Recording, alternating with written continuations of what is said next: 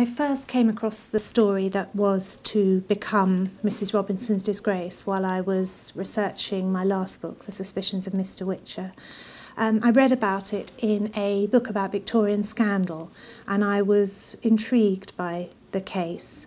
It was one of the first divorce trials in England after the new divorce court was formed, and it concerned a woman's diary. The husband accused his wife of adultery and tried to seek a divorce on the basis of an adulterous affair that she had written about in her diary. And she claimed that the diary was all made up and that she was innocent. Um, I wanted to know what was true.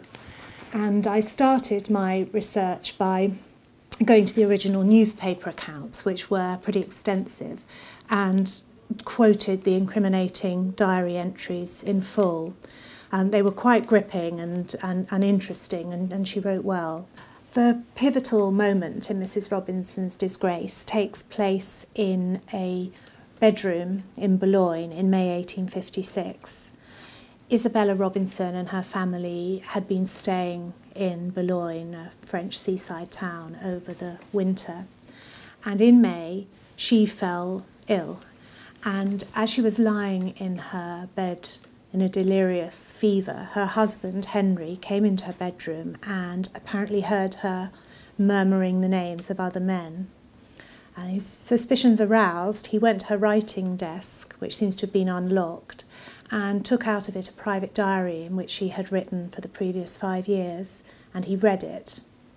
And in the diary, he read that his wife hated him um, he read also that over the previous five years she had harboured all kinds of lustful feelings for other men, and her feelings for one man in particular, a young man called Edward Lane, had apparently been consummated um, in 1854. Henry was furious and he immediately left Boulogne for England, taking the diary with him, as well as their two young sons. And when he got back to England, he plotted how to take his revenge on his wife.